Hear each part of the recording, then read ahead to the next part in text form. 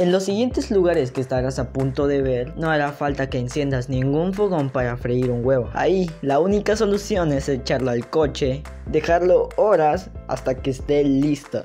Así que preparado, porque hoy te voy a mostrar 5 lugares más calurosos del mundo. Número 1. Al-Aziziyah, Libia.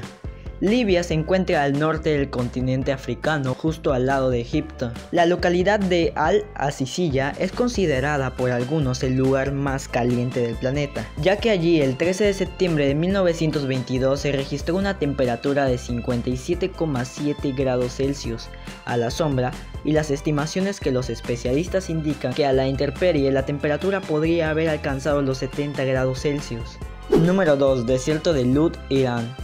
El desierto de Lut es uno de los lugares más calientes y secos del planeta. Si bien su temperatura ambiente no es tan alta, la superficie del suelo puede alcanzar los 70 grados Celsius, lo que lo convierte en un lugar prácticamente intransitable.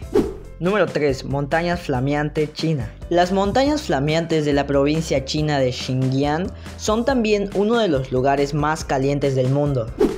Número 4. Wadi Alfa Sudán. En esta ciudad del norte de Sudán la temperatura promedio durante el verano es de 50 grados Celsius a la sombra. Número 5. Tombouctou, Mali.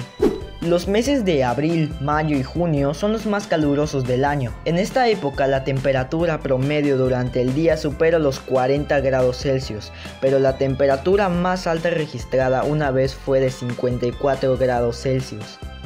Wow, estos lugares son realmente calientes. Sinceramente yo no sé cómo las personas pueden aguantar tanto. ¿Tú qué opinas? Quiero saber tu opinión en los comentarios. También te hago la pregunta, ¿aguantarías estar bajo semejante temperatura?